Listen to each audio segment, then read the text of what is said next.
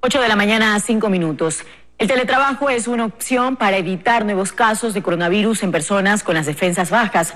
Empresas toman medidas para proteger a sus trabajadores y a la producción.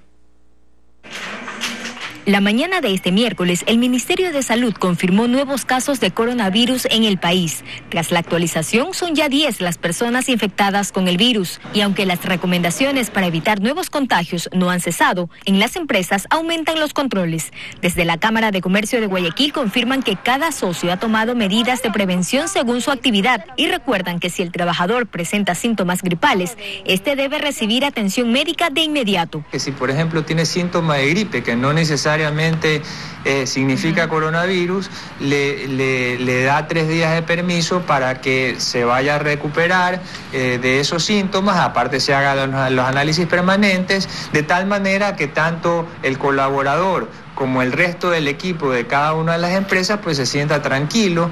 Por su parte, el ministro de Trabajo, Andrés Madero, se refirió días atrás a la pertinencia de hacer el trabajo desde casa. Y hoy con este caso, por ejemplo, del coronavirus, en el caso de que se dé alguna gestión, las empresas o los empleadores pueden tener conjuntamente con sus trabajadores convenios para poder tener esta modalidad habitual y usarla para que mejore las condiciones de sus trabajadores. Desde el 2007, esta modalidad de trabajo no presencial pasó de 4.800 teletrabajadores a más de 15.000 en la actualidad en todo el país. Díaz Granados agregó que por la coyuntura es la oportunidad también de analizar otras modalidades de trabajo. Para poder retomar la flexibilidad laboral. Los Centros para el Control y la Prevención de Enfermedades de Estados Unidos han recomendado a los empleadores adelantar el trabajo desde casa, especialmente si tienen fiebre o signos de problemas respiratorios. El teletrabajo es otra de las opciones que promueven empresas españolas.